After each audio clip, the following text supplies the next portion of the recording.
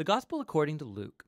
In the first video, we explored Luke's portrayal of John the Baptist and Jesus as the fulfillment of the story of Israel and of God's promises told in the Old Testament scriptures. We then watched Jesus launch his mission and bring the good news of God's kingdom to the poor among Israel, people of low social status, and also people who are outsiders. And Jesus taught that his kingdom is upside down, it's a reversal of all of our common social values. This section culminated with Luke showing us how Jesus was a new Moses about to bring a new Exodus by his death in Jerusalem. And so we come to the large center section of the book, where Jesus leads his newly formed Israel on a journey to Jerusalem. This part of the book consists mainly of Jesus' teaching and parables given on the road to the various people he encounters, mainly his growing group of disciples. And in this way, Luke portrays following Jesus as a journey. It's something you do where you learn as you go along life's path. So, first, Jesus invites his disciples into his mission as he sends a wave of them to go ahead of him, announcing God's kingdom. So, being a disciple right from the start, it means participating in Jesus' kingdom mission, making it your own. And as Jesus' disciples come back, he then starts to give various teachings about prayer, about trusting in God's provision. It's actually in these chapters of Luke that Jesus talks more about money, possessions, and generosity than anywhere else in his teachings. If following him is truly like being on the road, it should produce this minimalist mentality, creating a freedom from possessions that allows for radical generosity. Another key theme in these chapters is Jesus' continued mission to the poor. So as he travels, he keeps forming his new Israel, and he encounters all these people who are sick or blind. He meets Samaritans, who are ancient enemies of the Jewish people, and famously Zacchaeus, a Jewish man, but who heads up tax collection for the Romans. All of these social outsiders meet Jesus, and they're transformed by the encounter, and so they join his kingdom community, which Jesus describes as a great banquet party. He is here to seek and save the lost, and so he's celebrating when people discover the mercy of God. But not everybody at the party is happy. Luke includes multiple stories of Jesus at banquets with Israel's leaders, and these all become heated debates where Jesus confronts their pride and hypocrisy. And so these contrasting banquet parties, they're captured most memorably in Jesus' parable of the prodigal son. So a father had two sons, and one foolishly ran away and squandered his inheritance. But he comes back eventually repentant,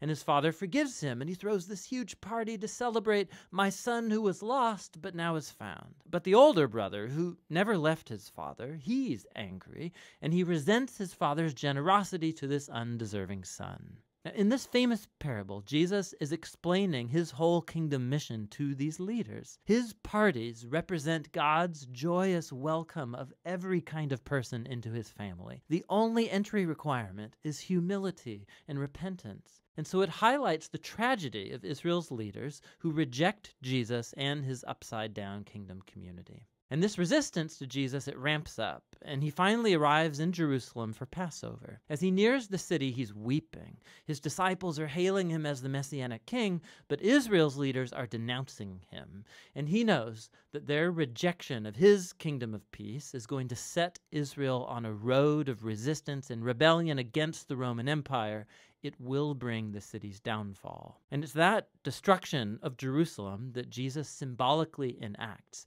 As he storms into the temple and he runs out the animal sellers, he brings the sacrificial system to a halt. And he says that this place of worship has become a den of rebels and will be destroyed. Now, this act, of course, generates a whole series of debates between Jesus and Israel's leaders, all leading up to Jesus' prediction that the Roman armies will one day surround this city, it will desolate it and the temple all within a generation. With that, Jesus retreats with his disciples to celebrate the Passover meal. It's the annual symbolic meal about Israel's liberation from slavery through the death of the Lamb. And so Jesus turns the meal's bread and wine into new symbols about this new Exodus. His broken body, his shed blood, will bring liberation for Jesus' renewed Israel. After the meal, Jesus is arrested and he's examined before the Jewish leaders and then put on trial as one claiming to be king. And Luke emphasizes Jesus' innocence. Pilate, the Roman governor, he claims that Jesus is innocent three times before giving in. Even Herod, the ruler of Galilee, finds nothing to accuse Jesus of. But the leaders finally compel Pilate to have him crucified, and so he is. But even in his painful death, Jesus embodies the love and the mercy of God he taught so much about. He offers God's forgiveness to the soldiers as they crucify him. And then, when one of the criminals executed alongside Jesus realizes who he actually is, he says, Remember me when you come in your kingdom. And Jesus' final words are an offer of hope to a humiliated criminal. Today you will be with me in paradise. And so, with this last act of generosity and kindness, Jesus dies. His body's placed in a tomb, and on the first day of the week, some of Jesus' disciples come to the tomb only to find it empty. And there are two angelic figures there telling them that Jesus is alive, that he's risen from the dead, and so they leave with their minds blown. And it's right here that Luke tells one of his most beautiful stories. Two of Jesus' disciples, they're leaving Jerusalem for a town called Emmaus, and they're heartbroken over Jesus' death. And then suddenly, Jesus is there, just walking alongside them, but they don't recognize him. He asks why they're so sad, and they go on to talk about all of their hopes that Jesus would have been the one to redeem Israel. But now he's dead, it was all for nothing. But then later, as Jesus has a meal with these two, he breaks bread for them, just as he did at the Passover meal, and it's in that moment that they recognize him. Then he disappears.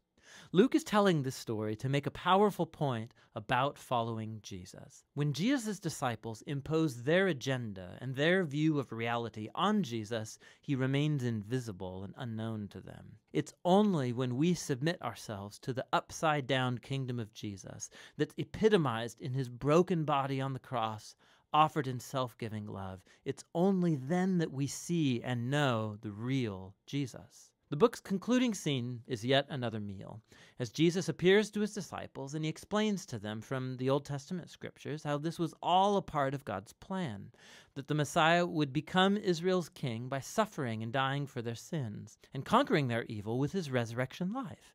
And so now, as Simeon the prophet promised back in chapter 2, Jesus' kingdom will move outward from Israel. So God's forgiveness can be announced to the nations and everyone invited to follow Jesus. But, Jesus tells his disciples, wait in Jerusalem for the coming of the Spirit to empower them for this new mission. And this, of course, keeps you reading right into Luke's second volume, the book of Acts. But for now, that's the gospel according to Luke.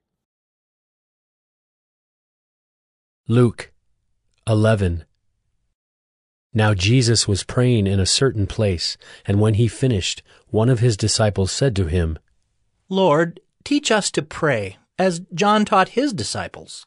And he said to them, When you pray, say, Father, hallowed be your name, your kingdom come. Give us each day our daily bread, and forgive us our sins, for we ourselves forgive everyone who is indebted to us. And lead us not into temptation and he said to them, Which of you who has a friend will go to him at midnight and say to him, Friend, lend me three loaves, for a friend of mine has arrived on a journey, and I have nothing to set before him. And he will answer from within, Do not bother me. The door is now shut, and my children are with me in bed. I cannot get up and give you anything. I tell you, though he will not get up and give him anything because he is his friend, Yet because of his impudence, he will rise and give him whatever he needs. And I tell you, ask, and it will be given to you. Seek, and you will find. Knock, and it will be open to you. For everyone who asks receives, and the one who seeks finds. And to the one who knocks, it will be opened. What father among you, if his son asks for a fish, will instead of a fish give him a serpent? Or if he asks for an egg, will give him a scorpion? If you then, who are evil, know how to give good gifts to your children, how much more will the Heavenly Father give the Holy Spirit to those who ask Him? Now he was casting out a demon that was mute. When the demon had gone out, the mute man spoke, and the people marveled. But some of them said, He casts out demons by Beelzebul, the prince of demons. While others, to test him, kept seeking from him a sign from heaven. But he, knowing their thoughts, said to them, Every kingdom divided against itself is laid waste, and a divided household falls. And if Satan also is divided against himself, how will his kingdom stand? For you say that I cast out demons by Beelzebul. And if I cast out demons by Beelzebul, by whom do your sons cast them out? Therefore they will be your judges. But if it is by the finger of God that I cast out demons, then the kingdom of God has come upon you. When a strong man, fully armed, guards his own palace, his goods are safe. But when one stronger than he attacks him and overcomes him, he takes away his armor in which he trusted and divides his spoil. Whoever is not with me is against me, and whoever does not gather with me scatters. When the unclean spirit has gone out of a person, it passes through waterless places seeking rest, and finding none, it says, I will return to my house from which I came. And when it comes, it finds the house swept and put in order. Then it goes and brings seven other spirits more evil than itself, and they enter and dwell there. And the last state of that person is worse than the first. As he said these things, a woman in the crowd raised her voice and said to him, Blessed is the womb that bore you, and the breasts at which you nursed. But he said, Blessed rather are those who hear the word of God and keep it. When the crowds were increasing, he began to say, This generation is an evil generation. It seeks for a sign, but no sign will be given to it except the sign of Jonah. For as Jonah became a sign to the people of Nineveh, so will the Son of Man be to this generation. The Queen of the South will rise up at the judgment with the men of this generation and condemn them. For she came from the ends of the earth to hear the wisdom of Solomon. And behold, something greater than Solomon is here. The men of Nineveh will rise up at the judgment with this generation and condemn it, for they repented at the preaching of Jonah. And behold, something greater than Jonah is here. No one, after lighting a lamp, puts it in a cellar or under a basket, but on a stand, so that those who enter may see the light. Your eye is the lamp of your body. When your eye is healthy, your whole body is full of light. But when it is bad, your body is full of darkness. Therefore, be careful, lest the light in you be darkness. If then your whole body is full of light, having no part dark, it will be wholly bright, as when a lamp with its rays gives you light. While Jesus was speaking, a Pharisee asked him to dine with him, so he went in and reclined at table. The Pharisee was astonished to see that he did not first wash before dinner. And the Lord said to him, Now you Pharisees cleanse the outside of the cup and of the dish, but inside you are full of greed and wickedness. You fools! Did not he who made the outside make the inside also? But give as alms those things that are within, and behold, everything is clean for you. But woe to you, Pharisees! For you tithe mint and rue and every herb, and neglect justice and the love of God. These you ought to have done, without neglecting the others. Woe to you, Pharisees! For you love the best seat in the synagogues and greetings in the marketplaces. Woe to you!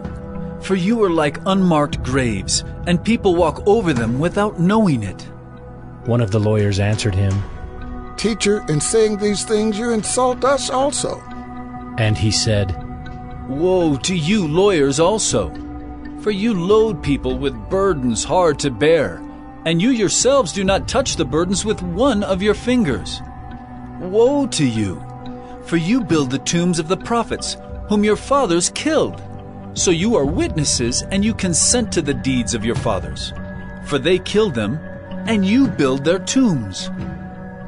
Therefore also the wisdom of God said, I will send them prophets and apostles, some of whom they will kill and persecute. So that the blood of all the prophets shed from the foundation of the world may be charged against this generation, from the blood of Abel to the blood of Zechariah, who perished between the altar and the sanctuary. Yes, I tell you, it will be required of this generation.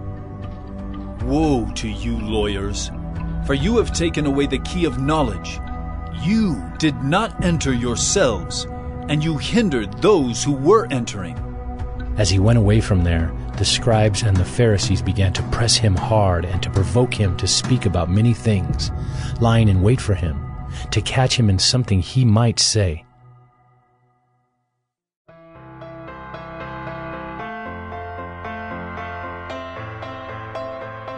And if you're watching us online, you can trust in Jesus Christ, your Savior, right where you're at, right where you're sitting. The Bible, uh, again, if you would just believe that Jesus died on the cross and paid for your sins and that He rose again the third day, God promises you that He will save your soul and adopt you as His child. And if you do that, we ask you to please email us uh, and let us know that you've done that. The email address is info, I-N-F-O, at exaltcc.com. That's info at exaltcc.com. Uh, let us know you've done that. We want to send you a Bible, help you in your next steps with uh, your relationship with the Lord. And if you have questions about this, you're like, I don't know about that, but I got some questions. Just please email us your questions. We'd love to answer those things uh, and, and help you understand the gospel better so that you too can trust in Christ your Savior.